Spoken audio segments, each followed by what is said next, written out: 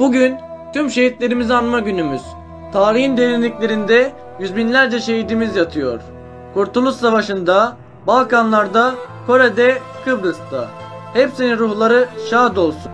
Ayrıca günümüzde terör örgütleri tarafından haince şehit edilen kahraman subay ve askerlerimizi, polislerimizi, fedakar öğretmenlerimizi, tüm kamu görevlilerimizi, masum vatandaşlarımızı ve bir yıldır mücadele ettiğimiz Covid-19 salgını nedeniyle kaybettiğimiz sağlık çalışanlarımızı rahmet ve şükranla anıyoruz. Onların kanlarıyla, canlarıyla bize emanet ettikleri vatanımızın emin ellerde olduğunu belirtmek istiyoruz. Bugün özel olarak hazırladığımız filmimizde Çanakkale Savaşı'ndan yıllar sonra anıtlar yapmak için kazı yapan askerler inanılmaz bir olayla karşılaşıyorlar. Herkese iyi seyirler diliyorum. Çok değil. Bundan 50 sene önce buralarda ne fırtınalar kopuyordu. Babalarımız, amcalarımız, dedelerimiz Çanakkale'yi düşmana dar ettiler. 250 bin can gitti. Dile kolay 250 bin genç. Benim amcam da Çanakkale gazisiydi. Neler anlattı neler. Çok zorluklar çekmişler çok. Üste yok, başta yok. Yarı aç, yarı tok. Aylarca savaşmak kolay mı? Neredeyse bahar geldi. Şu soğuğa bak. İçim üşüdü valla. Yaman oluyor şu Çanakkale'nin ayazı da rüzgarı da. Doğru söylersin asker. Çanakkale'nin soğuğu ve ayazı meşhurdur. Baharda bile dayanılmaz olur bazen. Ama Çanakkale savaşları 1915 Mart'ından 1916 Ocak sonlarına kadar sürdü. Kış ayazını da yedi. Çanakkale'de savaşan kahramanlar. Üzerlerindeki incecik elbiseleriyle hem düşmanla hem soğukla boğuştular. Doğru söylersiniz. Çok çetin savaşlar oldu. Bizim bulunduğumuz şu yerlerde de. Aşağıdaki müzede havada birbirini vuran kurşunları görmediniz mi? Nasıl çetin savaşlar olduğunu varın siz düşünün. Haklısınız komutanım. Biz de gelmiş bahar ayında soğuktan şikayet ediyoruz. Atalarımızın yaptığının yanında askerlik mi yapıyoruz biz? Öyle demeyin. Kendinize haksızlık edersiniz. Şu anda savaş çıksa canı gönülden katılmayacak mısınız? Selamun aleyküm komutan. Kolay gelsin. Aleykümselam amca. Hoş geldin. Ben Çanakkale Gazi Halil. İntepe köyündenim. Duydum ki şehitlerimize anıtlar yapılıyormuş. Koştum. Geldim hemen. Belki bir yardımım dokunur.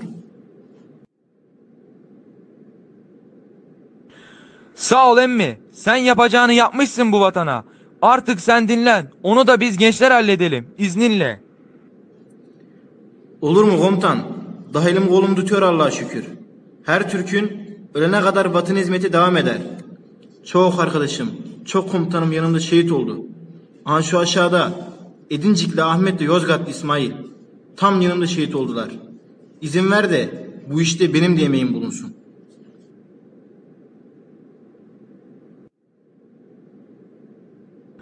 Tamam emmi. Az bir soluklan.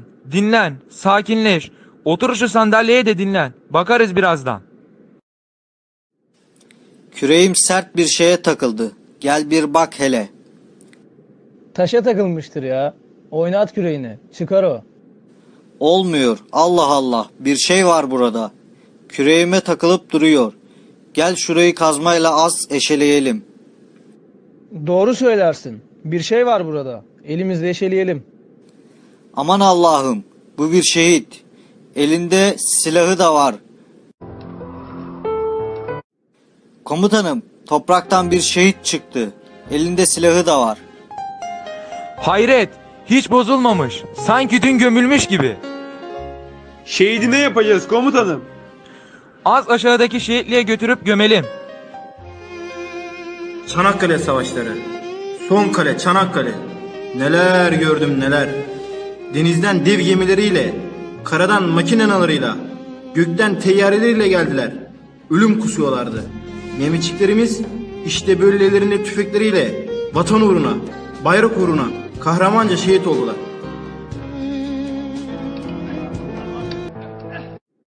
Komutanım silahını vermiyor.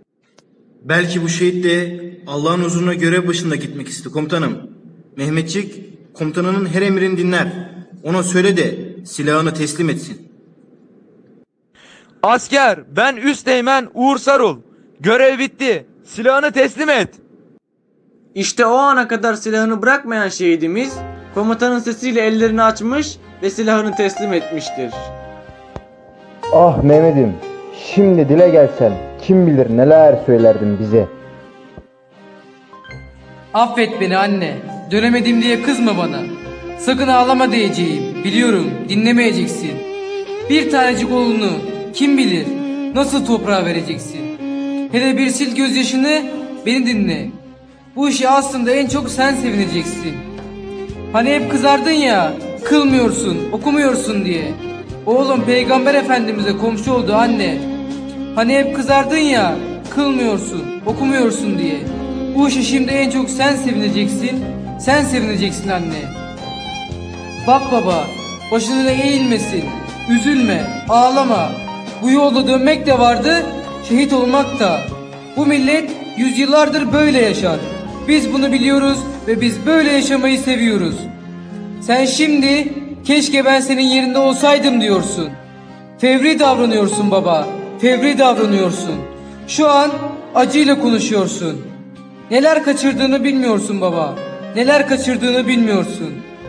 Ha bu arada inanmayacaksın belki bana. Dedemle tanıştım burada. Çerkez Ali. Hani şu Gelibolu tabyasından. Sen ölüm sana hiç yakışmadı diyorsun ya. Dedem bize de bu yakışır diyor hep bana. Bize de bu yakışır. Bize de bu yakışır. Göz kırpmaz can